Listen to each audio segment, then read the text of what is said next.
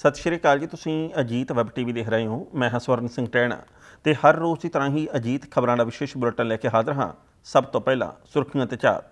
ਜ਼ਿਮਨੀ ਚੋਣਾਂ ਵਾਸਤੇ ਪੰਜਾਬ ਦੇ ਵਿੱਚ ਕਾਂਗਰਸ ਦੇ ਵੱਲੋਂ ਉਮੀਦਵਾਰ ਐਲਾਨੇ ਗਏ। ਪੁਲਿਸ ਨੇ ਕਤਲ ਦੀ ਗੁੱਥੀ ਸੁਲਝਾਈ। ਆਮ ਆਦਮੀ ਪਾਰਟੀ ਪੂਰੀ ਮਿਹਨਤ ਤੇ ਸਿਰੜ ਦੇ ਨਾਲ ਜ਼ਿਮਨੀ ਚੋਣ ਲੜੇਗੀ, ਕਿਹਾ ਭਗਵੰਤ ਮਾਨ ਨੇ। ਅਫਸਰਸ਼ਾਹੀ ਰਾਜਨੀਤੀ ਤੇ ਆਮ ਜਨਤਾ ਬਾਰੇ ਕਰਵਾਇਆ ਸੈਮੀਨਾਰ। ਤੇ ਮਜੀਠੀਆ ਵੱਲੋਂ ਪੰਜਾਬ ਦੇ ਵਿੱਚੋਂ ਫੜੇ ਗਏ। ਅੱਤਵਾਦੀਆਂ ਬਾਰੇ ਚਿੰਤਾ ਦਾ ਪ੍ਰਗਟਾਵਾ। ਤੇ ਹੁਣ ਖਬਰਾਂ ਦਾ ਵਿਸਥਾਰ। ਪੰਜਾਬ ਦੇ ਵਿੱਚ ਜ਼ਿਮਨੀ ਚੋਣਾਂ ਜੋ ਕਿ 21 ਅਕਤੂਬਰ ਨੂੰ ਹੋਣ ਜਾ ਰਹੀਆਂ ਨੇ, ਉਹਨਾਂ ਦੇ ਮੱਦੇਨਜ਼ਰ ਅੱਜ ਕਾਂਗਰਸ ਦੇ ਵੱਲੋਂ ਆਪਣੇ ਉਮੀਦਵਾਰਾਂ ਦੇ ਨਾਵਾਂ ਦਾ ਐਲਾਨ ਕਰ ਦਿੱਤਾ ਗਿਆ ਹੈ। ਹਾਲਾਂਕਿ ਅਕਾਲੀ ਦਲ, ਭਾਜਪਾ ਗੱਠਜੋੜ, ਆਮ ਆਦਮੀ ਪਾਰਟੀ ਤੇ ਬਾਕੀ ਛੋਟੇ ਵੱਡੇ ਦਲਾਂ ਦੇ ਵੱਲੋਂ ਕਿਸੇ ਵਿੱਚੋਂ ਵੀ ਆਪਣੇ ਉਮੀਦਵਾਰ ਦਾ ਨਾਂ ਨਹੀਂ ਐਲਾਨਿਆ ਗਿਆ, ਪਰ ਕਾਂਗਰਸ ਦੇ ਉਮੀਦਵਾਰਾਂ ਦੇ ਮੁਤਾਬਕ ਮੁਕੇਰੀਆਂ ਖੇਤਰ ਤੋਂ ਇੰਦੂ ਬਾਲਾ ਦੇ ਨਾਂ ਦੇ ਉੱਤੇ ਸਹੀ ਪਾਈ ਗਈ ਹੈ। ਇਸ ਤੋਂ ਇਲਾਵਾ ਦਾਖਾ ਖੇਤਰ ਤੋਂ ਸੰਦੀਪ ਸਿੰਘ ਸੰਧੂ ਤੇ ਜਲਾਲਾਬਾਦ ਤੋਂ ਰਮਿੰਦਰ ਆਮਲਾ ਨੂੰ ਟਿਕਟ ਦਿੱਤੀ ਗਈ ਹੈ। ਬਟਾਲਾ ਦੇ ਵਿੱਚ ਇੱਕ ਨਾਲੇ ਵਿੱਚੋਂ ਗਲੀ, ਸੜੀ, ਲਾਸ਼ ਮਿਲਣ ਦੇ ਮਾਮਲੇ ਵਿੱਚ ਪੁਲਿਸ ਦੇ ਵੱਲੋਂ ਇੱਕ ਬਹੁਤ ਵੱਡਾ ਖੁਲਾਸਾ ਕਰਨ ਦੀ ਗੱਲ ਕੀਤੀ ਗਈ ਹੈ। ਪੁਲਿਸ ਅਧਿਕਾਰੀਆਂ ਦੇ ਦੱਸਣ ਦੇ ਮੁਤਾਬਕ ਇਸ ਵਿਅਕਤੀ ਦਾ ਨਾਮ ਰਜਿੰਦਰ ਕੁਮਾਰ ਹੈ ਜਿਸ ਦੀ ਕਿ ਲਾਸ਼ ਮਿਲੀ ਸੀ ਤੇ ਉਸ ਦੀ ਮਾਤਾ ਦੇ ਬਿਆਨਾਂ ਦੇ ਆਧਾਰ ਦੇ ਉੱਤੇ ਅਸ਼ੋਕ ਕੁਮਾਰ ਦੇ ਉੱਤੇ ਪਰਚਾ ਦਰਜ ਕਰਕੇ ਉਸ ਨੂੰ ਗ੍ਰਿਫਤਾਰ ਕਰ ਲਿਆ ਗਿਆ। ਬਜ਼ੁਰਗ ਮਾਤਾ ਦੇ ਦੱਸਣ ਦੇ ਮੁਤਾਬਕ ਉਸ ਦੇ ਪੁੱਤਰ ਰਜਿੰਦਰ ਕੁਮਾਰ ਦੀ ਆਪਣੇ ਦੋਸਤ ਅਸ਼ੋਕ ਕੁਮਾਰ ਦੇ ਨਾਲ ਕਾਫੀ ਉੱਠਣੀ ਬਹਿਣੀ ਸੀ, ਪਰ ਅਚਾਨਕ ਅਸ਼ੋਕ ਕੁਮਾਰ ਉਹਨਾਂ ਦੀ ਧੀ ਦੇ ਉੱਤੇ ਮਾੜੀ ਅੱਖ ਰੱਖਣ ਲੱਗ ਪਿਆ। ਇਸ ਕਰਕੇ ਰਜਿੰਦਰ ਤੇ ਅਸ਼ੋਕ ਦੇ ਵਿੱਚ ਕਈ ਵਾਰ ਤੂ ਤੂ ਮੈਂ ਵੀ ਹੋਈ ਸੀ ਕਿ ਅਚਾਨਕ ਉਹਨਾਂ ਦੇ ਪੁੱਤ ਦੇ ਬਾਬਤ ਇਹ ਖਬਰ ਆਈ ਕਿ ਉਹ ਇਸ ਵਕਤ ਲਾਪਤਾ ਹੈ ਤੇ ਉਸ ਦੀ ਹੁਣ ਜਦੋਂ ਲਾਸ਼ ਮਿਲੀ ਹੈ, ਤਾਂ ਉਹਨਾਂ ਨੂੰ ਇਸ ਗੱਲ ਦਾ ਸ਼ੱਕ ਹੈ ਕਿ ਅਸ਼ੋਕ ਕੁਮਾਰ ਨੇ ਹੀ ਇਹ ਕਤਲ ਕੀਤਾ ਹੈ। ਪੁਲਿਸ ਦੇ ਸੀਨੀਅਰ ਅਧਿਕਾਰੀਆਂ ਦੇ ਮੁਤਾਬਕ ਅਸ਼ੋਕ ਕੁਮਾਰ ਨੇ ਆਪਣੇ ਗੁਨਾਹ ਨੂੰ ਕਬੂਲ ਕਰ ਲਿਆ ਤੇ ਹੁਣ ਉਹਨਾਂ ਦੇ ਵੱਲੋਂ ਅਗਲੇਰੀ ਕਾਰਵਾਈ ਕੀਤੀ ਜਾ ਰਹੀ ਹੈ। ਮਿਤੀ 22/9/2019 ਨੂੰ ਇੱਕ ਸਾਨੂੰ ਹਸਲੀ ਪੁਲ ਕੋਲੋਂ ਉੱਥੇ ਇੱਕ ਵਿਦਆਊਟ ਸਿਰ ਜਿਹਦਾ ਸਿਰ ਨਹੀਂ ਸੀ ਤੇ ਬਾਹਾਂ ਵੀ ਨਹੀਂ ਸੀ ਇੱਕ লাশ ਬਰਾਮਦ ਹੋਈ ਸੀ। ਜਿਸ ਦੇ ਤਹਿਤ ਅਸੀਂ ਅਨਨਾਮਲੂਮ ਵਿਅਕਤੀਆਂ ਦੇ ਖਿਲਾਫ 197 ਐਫ ਆਈ ਆਰ ਨੰਬਰ ਮਿਤੀ 22/9/19 ਨੂੰ 302 201 ਦੇ ਤਹਿਤ ਅਸੀਂ ਜੋ ਐਫ ਆਈ ਆਰ ਦਰਜ ਕੀਤੀ ਸੀ। ਇਸ ਦੀ ਅੱਗੇ ਜੋ ਇਨਵੈਸਟੀਗੇਸ਼ਨ ਚੱਲਦੇ ਹੋਏ ਸਾਨੂੰ ਜੋ ਪਤਾ ਲੱਗਿਆ ਹੈ, ਇਸ ਦੀ ਜੋ ਪਹਿਲਾਂ ਬੋਡੀ ਦੀ ਸ਼ਨਾਖਤ ਅਸੀਂ ਕਰਵਾਈ ਗਈ। ਬੋਡੀ ਦੀ ਸ਼ਨਾਖਤ, ਇੱਕ ਲੇਡੀ ਹੈ ਬਿਸ਼ਨੋ, ਉਸਨੇ ਸਾਨੂੰ ਗੁੰਮਸ਼ੁਦਗੀ ਦੀ, ਆਪਣੇ ਬੇਟੇ ਦੀ ਗੁੰਮਸ਼ੁਦਗੀ ਲਈ ਉਹਨੇ ਆਪਣੀ ਰਿਪੋਰਟ ਦਿੱਤੀ ਸੀ। ਜਦੋਂ ਉਸ ਨੂੰ ਇਸ ਦੀ ਸ਼ਨਾਖਤ ਕਰਾਈ ਗਈ, ਉਸਨੇ ਉਸ ਦੀ ਬੋਡੀ ਨੂੰ ਪਹਿਚਾਨਿਆ ਤੇ ਉਸ ਦੀ ਫਰਦਰ ਇਨਵੈਸਟੀਗੇਸ਼ਨ ਕਰਦੇ ਹੋਏ ਅਸੀਂ ਇੱਕ ਅਸ਼ੋਕ ਸਨ of ਪ੍ਰੀਤਮ ਦਾਸ, ਜੋ ਉਹਨਾਂ ਦਾ ਮੁਹੱਲੇਦਾਰੀ ਹੈ।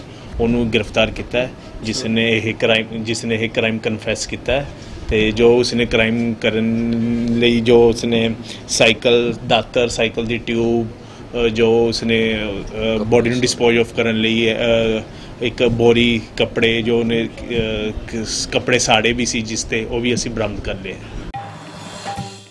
ਧੂਰੀ ਖੇਤਰ ਦੇ ਵਿੱਚ ਦੇਸ਼ ਭਗਤ ਯਾਦਗਾਰ ਹਾਲ ਦੇ ਵਿੱਚ ਅੱਜ ਸਪੋਰਟਸ ਮੀਟ ਦੇ ਸੰਦਰਭ ਦੇ ਵਿੱਚ ਆਮ ਆਦਮੀ ਪਾਰਟੀ ਦੇ ਪੰਜਾਬ ਪ੍ਰਧਾਨ ਤੇ ਸੰਸਦ ਮੈਂਬਰ ਭਗਵੰਤ ਮਾਨ ਪਹੁੰਚੇ। ਇਸ ਮੌਕੇ ਤੇ ਉਹਨਾਂ ਨੇ ਇਹ ਗੱਲ ਕਹੀ ਕਿ ਖਿਡਾਰੀਆਂ ਨੂੰ ਪੰਜਾਬ ਸਰਕਾਰ ਦੇ ਵੱਲੋਂ ਜੇਕਰ ਸਹੀ ਸਹੂਲਤਾਂ ਮੁਹੱਈਆ ਕਰਵਾਈਆਂ ਜਾਣ, ਤਾਂ ਪੰਜਾਬ ਦੇ ਖਿਡਾਰੀ ਵੀ ਵੱਖ-ਵੱਖ ਖੇਡਾਂ ਦੇ ਵਿੱਚ ਦੇਸ਼ ਦਾ ਨਾਂ ਉੱਚਾ ਚੁੱਕ ਸਕਦੇ ਨੇ। ਉਹਨਾਂ ਨੇ ਇਹ ਵੀ ਗੱਲ ਕਹੀ ਕਿ ਸੂਬਾ ਸਰਕਾਰ ਦੇ ਵੱਲੋਂ ਇਸ ਮੁਤਲਕ ਕੁਝ ਵੀ ਨਹੀਂ ਕੀਤਾ ਜਾ ਰਿਹਾ। ਉਹਨਾਂ ਨੇ ਕਿਹਾ ਕਿ ਆਮ ਆਦਮੀ ਪਾਰਟੀ ਦੇ ਵੱਲੋਂ ਇਹਨਾਂ ਜ਼ਿਮਨੀ ਚੋਣਾਂ ਦੇ ਵਿੱਚ ਬੜੀ ਮਿਹਨਤ ਦੇ ਨਾਲ ਹਿੱਸਾ ਲਿਆ ਜਾਵੇਗਾ ਤੇ ਚਾਰਾਂ ਥਾਵਾਂ ਤੋਂ ਆਪਣੇ ਉਮੀਦਵਾਰ ਖੜੇ ਕੀਤੇ ਜਾਣਗੇ। ਉਹਨਾਂ ਨੇ ਕਿਹਾ ਕਿ ਪਾਰਟੀ ਦੇ ਵਰਕਰਾਂ ਤੇ ਸੀਨੀਅਰ ਨੇਤਾਵਾਂ ਦੇ ਨਾਲ ਗੱਲਬਾਤ ਕਰਕੇ ਆਉਂਦੇ ਕੁਝ ਕੁ ਦਿਨਾਂ ਦੇ ਵਿੱਚ ਉਹਨਾਂ ਦੀ ਪਾਰਟੀ ਵੱਲੋਂ ਉਮੀਦਵਾਰ ਐਲਾਨ ਦਿੱਤੇ ਜਾਣਗੇ। ਸਾਡੀ ਤਿਆਰੀ ਹੈ ਜੀ ਅਸੀਂ ਚਾਰੋਂ ਦੀਆਂ ਚਾਰੋਂ ਜਿਮਨੀ ਚੋਣਾਂ ਜਿਹੜੀਆਂ ਲੜਾਂਗੇ ਔਰ ਸਾਡੇ ਵਲੰਟੀਅਰਾਂ ਨਾਲ ਸਾਡੇ ਜਿਹੜੇ ਵਰਕਰ ਨੇ ਉਹਨਾਂ ਨਾਲ ਗੱਲਬਾਤ ਕਰਕੇ ਉਹਨਾਂ ਦੀ ਸਲਾਹ ਲੈ ਕੇ ਜਲਦੀ ਚਾਰ ਦੇ ਚਾਰੇ ਉਮੀਦਵਾਰ ਐਲਾਨ ਕਰ ਦਿੱਤੇ ਜਾਣਗੇ ਮੁੱਦੇ ਨੂੰ ਲੈ ਕੇ ਚੋਣ ਲੜੋਗੇ ਮੁੱਦਾ ਤਾਂ ਤਾਂ ਬਦਲੀ ਨਾ ਜੇ ਕੋਈ ਮੁੱਦਾ ਹੱਲ ਹੋਇਆ ਹੋਵੇ ਜੀ। ਬੇਰੁਜ਼ਗਾਰੀ ਗਰੀਬੀ ਮਹਿੰਗਾਈ ਕੈਂਸਰ ਹੈ ਜੀ ਆਤਮ ਹੱਤਿਆਵਾਂ ਕਿਸਾਨਾਂ ਦੀਆਂ ਵਪਾਰ ਠੱਪ ਹੋ ਗਏ। ਸੋ ਉਹੀ ਸਭ ਕੁਝ ਚੱਲ ਰਿਹਾ ਹੈ। ਦੂਜੇ ਪਾਸੇ ਮਾਫੀਆ ਚੱਲ ਰਿਹਾ ਰੇਤ mafia sand mafia land mafia transport mafia cable mafia ਸਾਰਾ ਉਸ ਵਿੱਚ ਚੱਲ ਰਿਹਾ ਇੱਕ ਸੰਗਰੂਰ ਦੇ ਵਿੱਚ ਕੱਲ੍ਹ ਲਾਠੀ ਚਾਰਜ ਹੋਇਆ ਲਾਠੀ ਚਾਰਜ ਹੋਇਆ ਵੀ ਹੁਣ ਧਰਨੇ ਲੱਗੇ ਸਰਕਾਰ ਕੁਝ ਸੁਣਨ ਦੀ ਧਰਨੇ ਦੇਖੋ ਇਹ- ਕੈਪਟਨ ਸਾਹਿਬ ਕਹਿੰਦੇ ਹੁੰਦੇ ਸੀ ਕਿ ਜਦੋਂ ਅਕਾਲੀ ਦਲ ਵੇਲੇ ਉਹਨਾਂ ਦੀ ਸਰਕਾਰ ਵੇਲੇ ਮਾਸਟਰਾਂ ਤੇ ਲਾਠੀ ਚਾਰਜ ਹੁੰਦਾ ਸੀ ਤਾਂ ਉਹ ਕਹਿੰਦੇ ਸੀਗੇ ਕਿ ਟੀਚਰਾਂ ਦੀ ਇਮੇਜ ਕੀ ਬਣਦੀ ਹੋਣੀ ਬੱਚਿਆਂ 'ਚ? ਜਦੋਂ ਤੁਸੀਂ ਟੀਵੀ ਦੇ ਕੈਮਰਿਆਂ ਸਾਹਮਣੇ ਉਹਨਾਂ ਦਾ ਇਸ ਤਰ੍ਹਾਂ ਦਾ ਵਿਹਾਰ ਕਰ ਰਹੇ ਹੋ, ਤਾਂ ਹੁਣ ਇਹ ਕੈਪਟਨ ਸਾਹਿਬ ਇਹ ਦੱਸਣ ਕਿ ਹੁਣ ਕੀ ਟੀਵੀ ਤੇ ਦੇਖ ਕੇ ਬੱਚਿਆਂ ਦੇ ਦਿਮਾਗ ਦੇ ਵਿੱਚ ਆਪਣੇ ਟੀਚਰਾਂ ਪ੍ਰਤੀ ਕੋਈ ਇੱਜ਼ਤ ਦੀ ਇਮੇਜ ਬਣਦੀ ਹੋਣੀ। ਭਾਰਤੀ ਕਿਸਾਨ ਯੂਨੀਅਨ ਦੇ ਵੱਲੋਂ ਅੱਜ ਅਫਸਰਸ਼ਾਹੀ ਰਾਜਨੇਤਾ ਤੇ ਆਮ ਲੋਕਾਂ ਦਾ ਕਿਰਦਾਰ। ਵਿਸ਼ੇ ਦੇ ਉੱਤੇ ਇੱਕ ਮਹੱਤਵਪੂਰਨ ਸੈਮੀਨਾਰ ਕਰਵਾਇਆ ਗਿਆ। ਇਸ ਮੌਕੇ ਤੇ ਬੋਲਦਿਆਂ ਵੱਖ-ਵੱਖ ਰਾਜਨੀਤਿਕ ਆਗੂਆਂ ਨੇ ਆਪਣੇ ਵਿਚਾਰਾਂ ਦਾ ਪ੍ਰਗਟਾਵਾ ਕੀਤਾ। ਸੁਨੀਲ ਜਾਖੜ ਦੇ ਵੱਲੋਂ ਇਹ ਗੱਲ ਕਹੀ ਗਈ ਕਿ ਸਾਰੀ ਅਫਸਰਸ਼ਾਹੀ ਮਾੜੀ ਨਹੀਂ, ਪਰ ਕਈ ਅਫਸਰ ਇਹੋ ਜਿਹੇ ਹਨ ਜੋ ਕਿ ਆਪਣੀਆਂ ਕਦਰਾਂ ਕੀਮਤਾਂ ਨੂੰ ਭੁੱਲਦੇ ਜਾ ਰਹੇ ਨੇ। ਇਸ ਮੌਕੇ ਤੇ ਸਾਰੇ ਬੁਲਾਰਿਆਂ ਦੇ ਵੱਲੋਂ ਇਹ ਗੱਲ ਕਹੀ ਗਈ ਕਿ ਜਿਸ ਤਰੀਕੇ ਦੇ ਨਾਲ ਬਟਾਲੇ ਦੇ ਵਿੱਚ ਸਿਮਰਜੀਤ ਸਿੰਘ ਬੈਂਸ ਦੇ ਨਾਲ ਦੁਰਵਿਹਾਰ ਕੀਤਾ ਗਿਆ, ਇਹੋ ਜਿਹੀਆਂ ਘਟਨਾਵਾਂ ਤੇ ਉਦਾਹਰਨਾਂ ਅਕਸਰ ਹੀ ਮਿਲਦੀਆਂ ਰਹਿੰਦੀਆਂ ਨੇ। ਇਸ ਸਿੱਟੇ ਦੇ ਉੱਤੇ ਪਹੁੰਚਿਆ ਗਿਆ ਕਿ ਜੇਕਰ ਅਫਸਰਸ਼ਾਹੀ ਨੂੰ ਨੈਤਿਕਤਾ ਤੇ ਅਨੁਸ਼ਾਸਨ ਦਾ ਪਾਠ ਪੜਾਇਆ ਜਾਵੇ, ਤਾਂ ਹੀ ਆਮ ਲੋਕਾਂ ਦੇ ਲਈ ਸਭ ਕੁਝ ਸੁਖਾਲਾ ਹੋ ਸਕਦਾ ਹੈ। ਡਿਬੇਟ ਹੀ ਜਦੋਂ ਮੁੱਦਾ ਹੀ ਰਾਜਨੇਤਾ, ਅਫਸਰਸ਼ਾਹੀ ਤੇ ਲੋਕ, ਉਹਨਾਂ ਮੁੱਦਿਆਂ ਦੇ, ਲੋਕਾਂ ਦੇ ਜਿਹੜੇ ਮੁੱਦੇ ਹੈ, ਕਿਉਂ ਅੱਜ ਆ ਕਨਫਰੰਟੇਸ਼ਨ ਦੀ ਨੌਬਤ ਆ ਰਹੀ ਹੈ ਲੀਡਰਸ ਦੀ ਤੇ ਐਡਮਿਨਿਸਟ੍ਰੇਸ਼ਨ ਦੀ? ਕਿਉਂ ਅੱਜ ਲੋਕਾਂ ਨੂੰ ਲੀਡਰਾਂ ਦੇ ਘਰੇ ਜਾਣਾ ਪੈ ਰਿਹਾ ਹੈ? ਉਹਨਾਂ ਮੁੱਦਿਆਂ ਦਾ ਜਦੋਂ ਤਾਈਂ ਮੁੱਢਲਾ ਕੋਈ ਇਲਾਜ ਨਹੀਂ ਕਰਾਂਗੇ ਜਦੋਂ ਤਾਈਂ ਸਿਸਟਮ ਆਪਣੇ ਆਪ ਨੂੰ ਜਿਹਦੀ ਪਟਵਾਰੀ ਤਾਈਂ ਸਮੱਸਿਆ ਹੈ, ਪਟਵਾਰੀ ਉਹਦਾ ਮਸਲੇ ਨੂੰ ਹੱਲ ਕਰੇ ਨਾ ਉਸ ਬੰਦੇ ਨੂੰ ਲੀਡਰ ਕੋਲ ਜਾਣਾ ਪਵੇ ਨਾ ਲੀਡਰ ਨੂੰ ਚੱਲ ਕੇ ਜਾ ਕੇ ਕਿਸੇ ਅਫਸਰ ਕੋਲ ਜਾ ਕੇ ਚ- ਚੂਝਣਾ ਪਵੇ। ਇਹਨਾਂ ਦੇ ਉੱਤੇ ਗੱਲ ਕੀਤੀ ਹੈ ਤੇ ਮੈਂ ਸਮਝਦਾ ਵੀ ਉਹਨਾਂ ਨੂੰ ਸਾਰੀਆਂ ਗੱਲਾਂ ਨੂੰ ਦੇਖਣ ਦਾ ਸਮਾਂ ਆ ਗਿਆ। ਇਸ ਕਿਸਮ ਦੀਆਂ ਵਾਰਦਾਤਾਂ ਨਾ ਹੋਣ ਇਹਦਾ ਕੋਈ ਕਾਨੂੰਨੀ ਇਲਾਜ ਕਰੀਏ ਕਿਸੇ ਨਾਲ ਝਗੜਾ ਹੱਥੋਂ ਪਾਈ ਕੋਈ ਇਲਾਜ ਨਹੀਂ। ਇਹਦੇ ਵਾਸਤੇ ਲੈਜਿਸਲੇਟਿਵ ਲੈਜਿਸਲੇਚਰ ਜਿਹੜਾ ਹੈ, ਇਹਨਾਂ ਕੋਲ ਪੂਰੇ ਇਖਤਿਆਰ ਹੈ ਅਜੇ ਕੋਈ ਕਾਨੂੰਨ ਬਣਾਏ ਜਾਣ ਤਾਂ ਕਿ ਜੋ ਵੀ ਸਮੇਂ ਦਾ ਮੌਕੇ ਦਾ ਅਫਸਰ ਹੋਵੇ, ਉਹਦੀ ਜਵਾਬਦੇਹੀ ਨਿਰਧਾਰਤ ਹੋ ਸਕੇ। ਨਾਲ ਨਾਲ ਉਹਦੇ, ਉਹਦੀ ਪ੍ਰੋਟੈਕਸ਼ਨ ਜ਼ਰੂਰ ਹੋਵੇ। ਉਹ ਬਿਲਕੁਲ ਸਹੀ ਹੈ, ਜਿਹੜਾ ਅਫਸਰ ਹੈ, ਉਹਦੀ ਪ੍ਰੋਟੈਕਸ਼ਨ ਆਫ ਸਰਵਿਸ ਜ਼ਰੂਰ ਹੋਵੇ, ਪਰ ਉਹਦੀ ਬਿਨਾਂ ਜਵਾਬਦੇਹੀ ਦੇ ਉਹਨੂੰ ਬੇਲਗਾਮ ਨਹੀਂ ਛੱਡਿਆ ਜਾ ਸਕਦਾ। ਕਿਉਂਕਿ ਉਹਦਾ ਨਤੀਜਾ ਅੱਜ ਤੁਸੀਂ ਦੇਖ ਰਹੇ ਹੋ ਕਿ ਬਾਰ-ਬਾਰ ਇਸ ਕਿਸਮ ਦੇ ਵਾਕਿਆ ਜਿਹੜੇ ਹੈ, ਬਹੁਤ ਮੰਦਭਾਗੇ ਵਾਕਿਆ ਹੈ, ਉਹ ਹੋ ਰਹੇ ਹੈ। ਉਹਨਾਂ ਨੂੰ ਰੋਕਣ ਵਾਸਤੇ ਸਾਰੀ ਪਾਰਟੀਆਂ ਬੈਠ ਕੇ ਅਸੈਂਬਲੀ ਦੇ ਅੰਦਰ, ਪਾਰਲੀਮੈਂਟ ਦੇ ਅੰਦਰ ਬੈਠ ਕੇ ਅਫਸਰਸ਼ਾਹੀ ਨੂੰ ਜਵਾਬਦੇਹ ਬਣਾਉਣ ਦੀ ਜ਼ਰੂਰਤ ਹੈ। ਪੰਜਾਬ ਪੁਲਿਸ ਦੇ ਵੱਲੋਂ ਅੱਜ ਇੱਕ ਅੱਤਵਾਦੀ ਗਰੋਹ ਦਾ ਭਾਂਡਾ ਭੰਨਿਆ ਗਿਆ। ਪੁਲਿਸ ਦੇ ਵੱਲੋਂ ਚਾਰ ਵਿਅਕਤੀਆਂ ਨੂੰ ਗ੍ਰਿਫਤਾਰ ਕੀਤਾ ਗਿਆ। ਇਹਨਾਂ ਦੇ ਕੋਲੋਂ 5 AK47 ਸੈਟੇਲਾਈਟ ਫੋਨ ਤੇ ਕਈ ਕੁਝ ਹੋਰ ਵੀ ਬਰਾਮਦ ਕੀਤਾ ਗਿਆ। ਸੀਨੀਅਰ ਪੁਲਿਸ ਅਧਿਕਾਰੀਆਂ ਦੇ ਦੱਸਣ ਦੇ ਮੁਤਾਬਕ ਇਹਨਾਂ ਚਾਰਾਂ ਨੂੰ ਮਾਣਯੋਗ ਅਦਾਲਤ ਦੇ ਵਿੱਚ ਪੇਸ਼ ਕੀਤਾ ਗਿਆ, ਜਿੱਥੇ ਕਿ ਇਹਨਾਂ ਦਾ 10 ਦਿਨ ਦਾ ਪੁਲਿਸ ਰਿਮਾਂਡ ਹਾਸਲ ਕੀਤਾ ਗਿਆ। ਪੰਜਾਬ ਦੇ ਸਾਬਕਾ ਵਿੱਤ ਮੰਤਰੀ ਤੇ ਸੀਨੀਅਰ ਅਕਾਲੀ ਆਗੂ ਵਿਕਰਮ ਸਿੰਘ ਮਜੀਠੀਆ ਦੇ ਵੱਲੋਂ ਇਸ ਗੱਲ ਦੇ ਉੱਤੇ ਚਿੰਤਾ ਦਾ ਪ੍ਰਗਟਾਵਾ ਕੀਤਾ ਗਿਆ ਕਿ ਪੰਜਾਬ ਦੇ ਵਿੱਚ ਹੁਣ ਅੱਤਵਾਦੀ ਫੇਰ ਪੈਰ ਪਸਾਰਨ ਦੀ ਕੋਸ਼ਿਸ਼ ਕਰ ਰਹੇ ਨੇ। ਉਹਨਾਂ ਨੇ ਕਿਹਾ ਕਿ ਜਿਸ ਤਰੀਕੇ ਦੇ ਨਾਲ ਡਰੋਨ ਦੇ ਸਹਾਰੇ ਪੰਜਾਬ ਦੇ ਵਿੱਚ ਹਥਿਆਰ ਭੇਜੇ ਗਏ ਨੇ, ਇਹ ਕੋਈ ਚੰਗੀ ਤੇ ਸ਼ੁਭ ਗੱਲ ਨਹੀਂ। ਉਹਨਾਂ ਨੇ ਕਿਹਾ ਕਿ ਇਸ ਮਾਮਲੇ ਦੀ ਐਨਆਈਏ ਨੂੰ ਜਾਂਚ ਕਰਨੀ ਚਾਹੀਦੀ ਹੈ। ਉਹਨਾਂ ਨੇ ਇਹ ਵੀ ਗੱਲ ਕਹੀ ਕਿ ਪੰਜਾਬ ਤੇ ਜੰਮੂ ਕਸ਼ਮੀਰ ਦਾ ਮਾਹੌਲ ਖਰਾਬ ਕਰਨ ਦੀ ਸਾਜ਼ਿਸ਼ ਘੜੀ ਜਾ ਰਹੀ ਹੈ। ਬਹੁਤ ਹੀ ਸੀਰੀਅਸ ਤੇ ਬੜਾ ਚਿੰਤਾ ਦਾ ਮਾਮਲਾ ਹੈ ਜਿਹੜੀ ਕੱਲ ਵਾਲੀ ਜਿਹੜੀ ਘਟਨਾ ਹੋਈ ਕਦੇ ਅੱਜ ਤੱਕ ਮੈਂ ਕਈ ਜ਼ਿੰਮੇਵਾਰ ਪੁਲਿਸ ਵਾਲਿਆਂ ਨਾਲ ਗੱਲ ਵੀ ਕੀਤੀ ਕੋਈ ਸਾਡੇ ਮਾਝੇ ਦਾ ਇਹ ਗੱਲ ਹੈ, ਮੈਨੂੰ ਵੀ ਇਸ ਗੱਲ ਦੀ ਬੜੀ ਚਿੰਤਾ ਹੈ ਕਿ ਡਰੋਨ ਰਾਹੀਂ ਜੋ ਲਿਖਿਆ ਗਿਆ ਔਰ ਮੈਂ ਇਹ ਗੱਲ ਸਪੈਸ਼ਲੀ ਪੁੱਛੀ, ਮੈਂ ਕਿਹਾ ਕਿ ਇਹ ਅਖਬਾਰੀ ਖਬਰ ਹੈ ਕਿ ਇਹ ਫੈਕਟ ਹੈ? ਮੈਨੂੰ ਜੋ ਅਫਸਰ ਨੇ ਪੁਸ਼ਟੀ ਕੀਤੀ ਹੈ, ਕਹਿੰਦਾ ਜੀ ਇਹ ਫੈਕਟ ਹੈ। ਇੱਕ ਫਰਸਟ ਟਾਈਮ ਐਵਰ ਹੋਇਆ ਹੈ that ਕਨਸਾਈਨਮੈਂਟ ਦੀ ਡਿਲੀਵਰੀ ਥਰੂ ਡਰੋਨ ਹੋਈ ਹੈ। ਔਰ ਇਹ ਬੜਾ ਹੀ ਸੀਰੀਅਸ ਚਿੰਤਾ ਦੀ ਗੱਲ ਹੈ ਕਿ ਜੇ ਇਸ ਤਰੀਕੇ ਤੱਕ, ਇਸ ਤਰੀਕੇ ਨਾਲ ਘੁਸਪੈਠ ਹੋਣੀ ਹੈ ਔਰ ਇਸ ਤਰੀਕੇ ਨਾਲ ਪਾਕਿਸਤਾਨ ਨੇ ਪੰਜਾਬ 'ਚ ਤੇ ਜੰਮੂ ਕਸ਼ਮੀਰ 'ਚ ਹਾਲਾਤ ਕਰਨ ਲਈ, ਹਾਲਾਤ ਖਰਾਬ ਕਰਨ ਲਈ ਆਪ ਦਾ ਯੋਗਦਾਨ ਪਾਉਣਾ ਔਰ ਇਹ ਜਿੰਨੇ ਲਿੰਕਸ ਨੇ ਇਹਦੇ 'ਚ ਇੱਕ ਨੀਟਾ ਦਾ ਨਾਮ ਆਇਆ ਜਿਹੜਾ ਟੈਰਰਿਸਟ ਉਹ ਕਿੱਥੇ ਬੈਠਿਆ? ਪਾਕਿਸਤਾਨ ਬੈਠਿਆ ਆਈਐਸਆਈ ਦੀ ਸ਼ਰਨ 'ਚ ਬੈਠਿਆ। ਇਹ ਜੇ ਲੋਕਾਂ ਨੂੰ ਵਰਤ ਕੇ ਪੰਜਾਬ ਦਾ ਮਾਹੌਲ ਖਰਾਬ ਕਰਨਾ, ਪੰਜਾਬ ਦੀ ਭਾਈਚਾਰਕ ਸਾਂਝ ਨੂੰ ਖਰਾਬ ਕਰਨਾ, ਇਹ ਬਹੁਤ ਹੀ ਸੀਰੀਅਸ ਔਰ ਬੜਾ ਡੇਂਜਰਸ ਟ੍ਰੈਂਡ ਹੈ, ਜਿਹਦੇ ਵਾਸਤੇ ਆਪਾਂ ਨੂੰ ਬਹੁਤ ਚੁਕੰਨੇ ਰਹਿਣਾ ਪੈਣਾ। ਔਰ ਮੈਂ ਸਮਝਦਾ ਐਨਆਈਏ ਨੂੰ, ਜੇ ਪੰਜਾਬ ਪੁਲਿਸ ਨੇ ਆਈ ਥਿੰਕ ਦਿੱਤੀ investigation because they are also word ਔਰ ਪੰਜਾਬ ਪੁਲਿਸ ਨੂੰ ਇਸ ਗੱਲ ਦਾ ਬੜਾ ਚਿੰਤਾ ਹੈ ਕਿ ਇਹ ਕੀ ਹੋ ਰਿਹਾ ਜਲੰਧਰ ਦੀ ਪੁਲਿਸ ਦੇ ਵੱਲੋਂ ਇੱਕ ਵਿਅਕਤੀ ਨੂੰ ਨਾਕੇ ਤੇ ਗ੍ਰਿਫਤਾਰ ਕੀਤਾ ਗਿਆ ਜਿਸ ਕੋਲੋਂ ਇੱਕ ਪਿਸਤੌਲ ਤੇ ਚਾਰ ਕਾਰਤੂਸ ਬਰਾਮਦ ਕੀਤੇ ਗਏ ਨੇ।